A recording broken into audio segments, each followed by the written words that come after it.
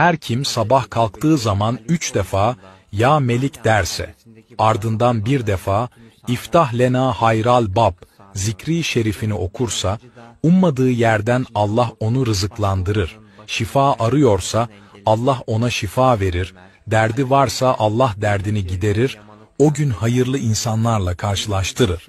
Buraya kadar dinlediysen yoruma amin yaz.